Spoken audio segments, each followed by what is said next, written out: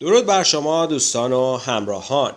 باز هم در خدمت شما این با یکی دیگر از کلیپ های آموزشی انگلیسی مثل آب خوردن. در این درس می‌خوایم در مورد عبارت ها و جملات مورد نیاز در مورد روزها و زمانها در انگلیسی صحبت کنیم و اونها رو با هم مرور کنیم و خوب یاد بگیریم.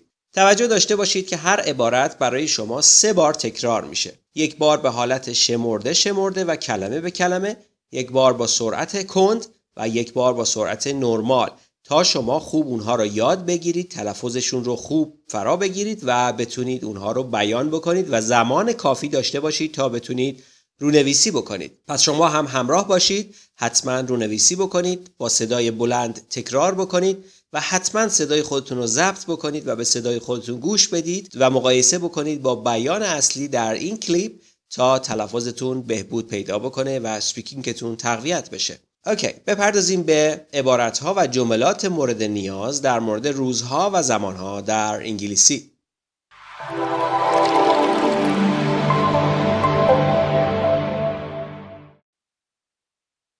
The day after tomorrow یعنی پس فردا. یعنی روزی که بعد از فردا خواهد اومد که طبیعتا ما در فارسی بهش میگیم پس فردا. The day after tomorrow. The day after tomorrow.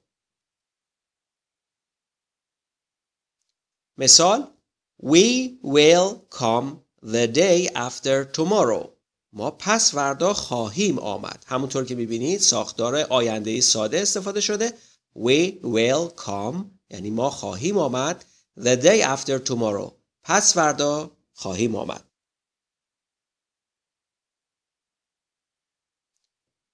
We will come the day after tomorrow.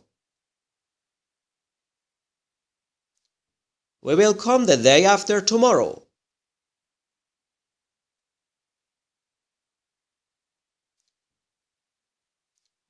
بعدی The day before yesterday یا two days before یعنی پریروز روزی که قبل از دیروز بوده طبیعتا میشه پریروز در انگلیسی عبارتش به این شکله the day before yesterday or two days before.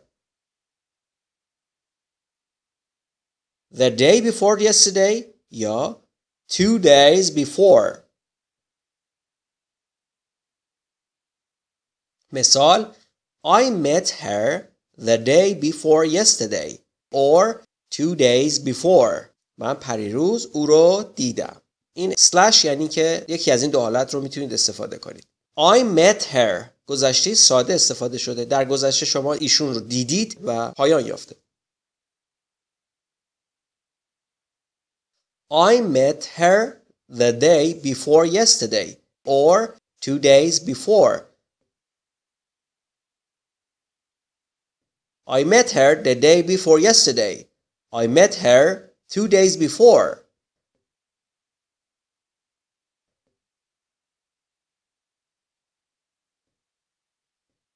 بعدی The day before you came. روز قبل از اینکه تو بیای اینجا. You came در گذشته اتفاق افتاده یعنی تو بیای اینجا. Before you came یعنی قبل از اینکه تو بیای اینجا. The day before you came. The day before you came.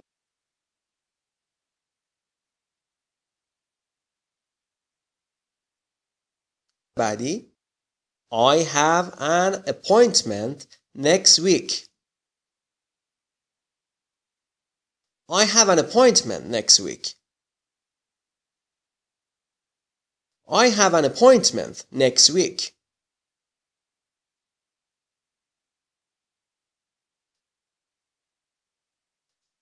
I saw her a week ago. Yeah, a week before. I saw her a week ago. I saw her a week before. I saw her a week ago. I saw her a week before.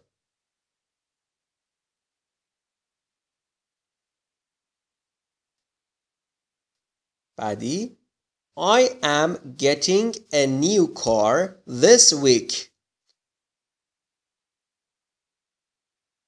I'm getting a new car this week. I'm getting a new car this week.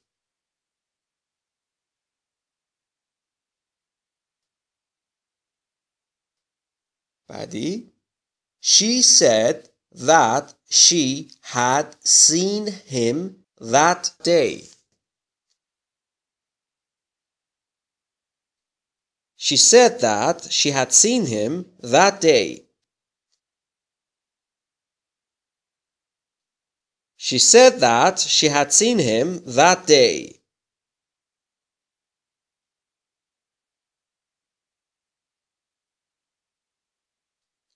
بعدی The other day در انگلیسی این ساختار بسیار استفاده میشه وقتی که روز مشخصی نباشه یا مثلا بخوایم بگیم چند روز پیش یا دو سه روز پیش یا روز مشخصی رو تعیین نکنیم از این عبارت استفاده میشه the other day. اون روز چند روز پیش یک روز نامشخص که در گذشته بوده. The other day.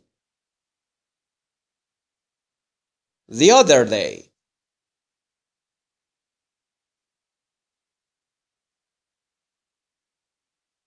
مثال I talked to her the other day چند روز پیش با او حرف زدم I talked to her the other day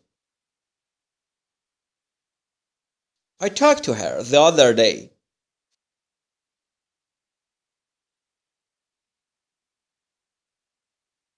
بعدی every other day every other day ساختاری است که در انگلیسی بسیار استفاده میشه به عنوان یک روز در میون. مثلا شما یک روز در میون میری باشگاه اوکی؟ یعنی یک روز میرید یک روز نمیرید. یک روز میرید یک روز نمیرید. میشه یک روز در میان. عبارتش به این شکله. Every other day یک روز در میون. Every other day. Every other day.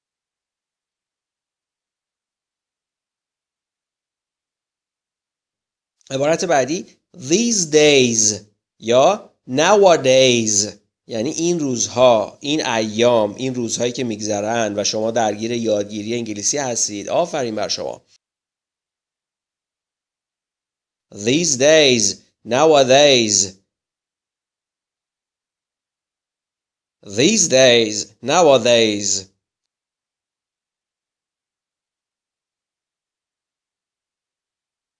Misal, nowadays people know the price of everything and the value of nothing. Nowadays people know the price of everything and the value of nothing. Nowadays people know the price of everything and the value of nothing. این روزها مردم قیمت همه چیز رو می‌دونند و ارزش هیچ چیز رو. امیدوارم که شما ارزش همه چیز رو بدونید قدر همه چیز رو بدونید قدر خودتون رو بدونید درگیر یادگیری باشید درگیر پیشرفت باشید موفق باشید در زندگیتون. بسیار سپاسگزاریم از همراهی شما عزیزان. فراموش نکنید که تکرار سباره دروس برای مرور و یادگیری بهتر شما بود. حتما همگام با کلیپ تکرار بکنید بیان بکنید صدای خودتون رو با موبایلتون ضبط بکنید و با درس اصلی مقایسه بکنید تا بهبود بسیار خوبی در سپیکینگتون و تلفظتون داشته باشید. بسیار خوب دوستان سپاسگزاریم از همراهی و حمایت های شما عزیزان. منتظر نظرهای سازنده شما در قسمت کامنت هستیم. لطفا فراموش نکنید که با اشتراک ویدیوها اونها رو در اختیار دیگران هم قرار بدید تا بتونن استفاده بکنن. همچنین فراموش نکنید که برای دریافت درس های بیشتر و درس های آینده کانال انگلیسی آب خوردن رو حتما دنبال بکنید و به دیگران هم معرفی بکنید. بی نهایت سپاسگزاریم از همراهی شما عزیزان. ایام به کام. خوش باشید.